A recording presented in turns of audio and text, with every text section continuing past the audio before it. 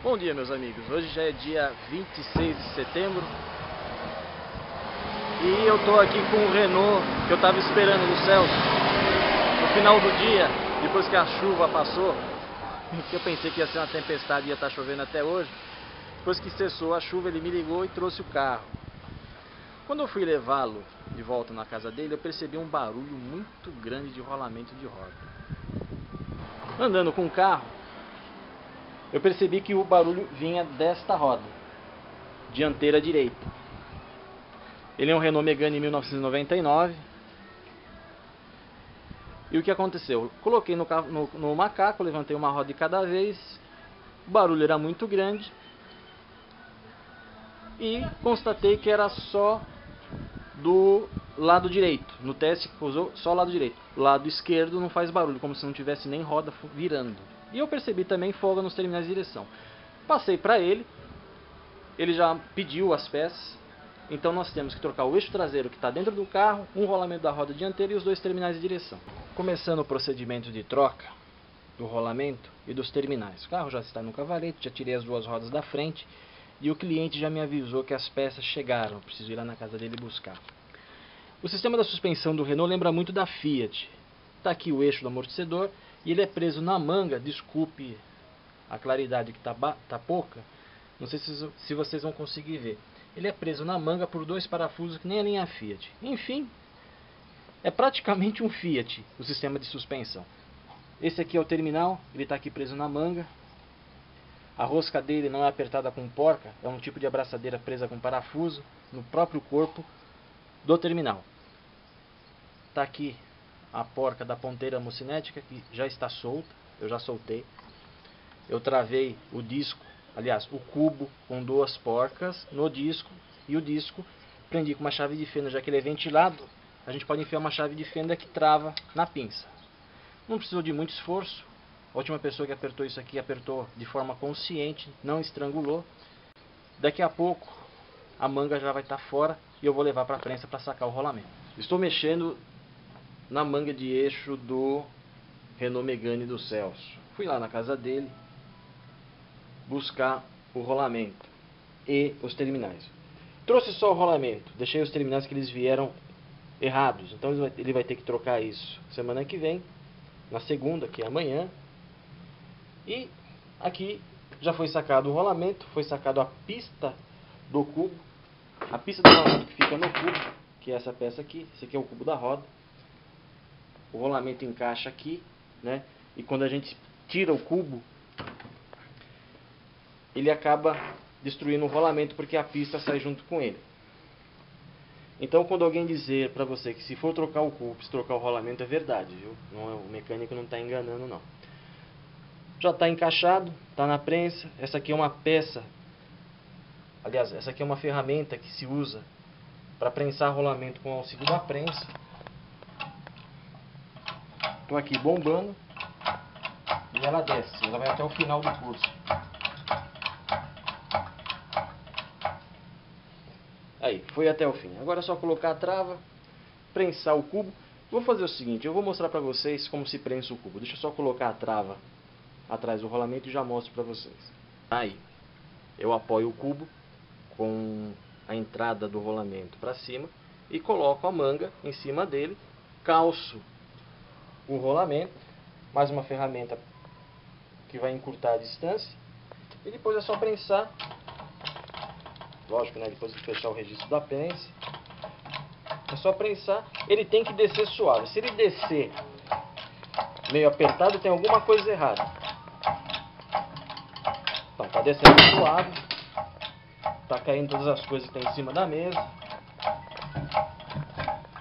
Pronto, chegou até o fim. Tá aqui, rolamento prensado, cubo prensado no rolamento, tá tudo certinho, trava colocada. Agora tô me dirigindo pro carro, porque o cliente me ligou. E ele quer que eu tire umas fotos do terminal, dos terminais de direção, para mandar para autopeças. Eu sempre tive problema com troca de peça, envio de peça errada para mecânico. Porque esse povo acho que não gosta de ver catálogo e no catálogo mostra a aplicação das peças. Não existe um fabricante que vai fabricar uma peça e não vai colocar a aplicação no catálogo. Mas como isso é comum,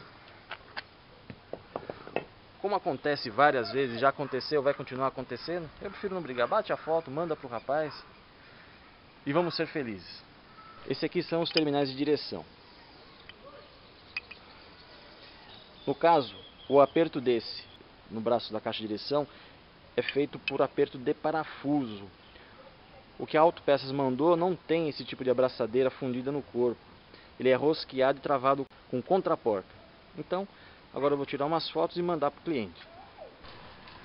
Eu já terminei a frente em partes, né? Eu montei a manga com rolamento prensado. Tive que colocar o carro no chão pela falta de terminais. E quando os terminais certos chegarem, vou ter que levantar tudo outra vez para poder fazer a troca. Um atraso devido ao engano de entrega de peça, que é muito comum de acontecer. Então eu já coloquei as rodas da frente, não apertei, coloquei o carro na posição e levantei a traseira, já coloquei no cavalete, simplesmente para começar a retirar o eixo traseiro. Eu estou aqui examinando, eu já vou começar a tirar os amortecedores. Tem aquele lá e esse aqui desligar as tubulações de freio. Parece que o outro que veio, veio inclusive junto com o cabo de freio de mão. De qualquer forma vai vazar, vai vazar fluido e eu vou precisar ter que sangrar depois. Vou começar e as novidades eu vou mostrando no decorrer do serviço. Depois de algum esforço, o eixo está no chão. Esse aqui é o que estava no carro e esse em pé mais escuro aqui é o que o cliente trouxe para trocar. O defeito do que estava no carro é uma folga que dá aqui. Aqui tem um rolamento de agulha. Isso aqui é um saco de trocar. Muitas vezes ele come a pista interna que faz parte do corpo da peça e não tem como resolver. Vocês não vão conseguir ver. Daí eu consigo ver uma folga aqui entre essa peça e essa outra peça, entre um corpo e o outro. Já esse aqui está perfeito. Aqui não tem nada, não tem folga nenhuma. O braço desse lado aqui está firme. Porém, Desse lado de cá, ele está um pouco folgado. Eu acredito que isso aí não faça nenhuma alteração, porque aqui não vai ter uma peça batendo com a outra. E lembrando de todos os facões de fusca e barras de torção que eu troquei, eles apresentavam vezes uma folguinha entre a estria da peça e a estria da barra e não fazia barulho. Eu vou colocar agora. Eu desmontei o eixo com cabo de freio de mão porque eu vi que esse aqui tinha vindo, mas não tem jeito. Eu vou ter que desmontar essa campana aqui para colocar o cabo de freio de mão do eixo que estava no carro. Hoje já é de segunda-feira e eu estou mexendo no Megane.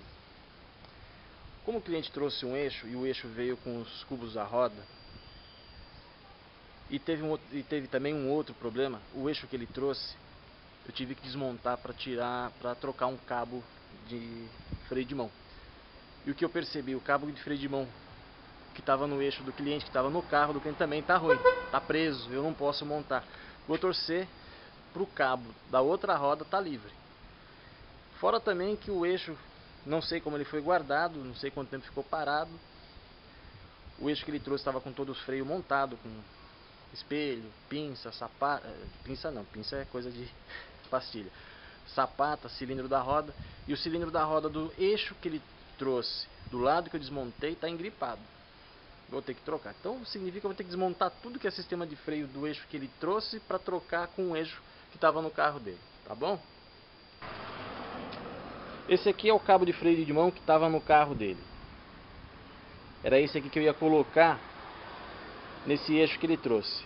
Já não vou colocar porque ele está engripado. Aí você pergunta, como é que estava funcionando, né?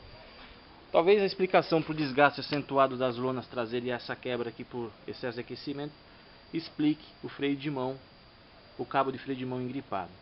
Esse aqui é o cilindro da roda, né? Nesse caso aqui, o cilindro que veio no eixo está engripado. Vou verificar se esse aqui está livre para trocar. Se os dois estiverem engripados, eu vou ter que ligar para o Celso para ver o que ele vai querer fazer. Tá quase, tá quase. Que maravilha que é colocar as molinhas, os patins de freio, sem aquele alicate de puxar mola.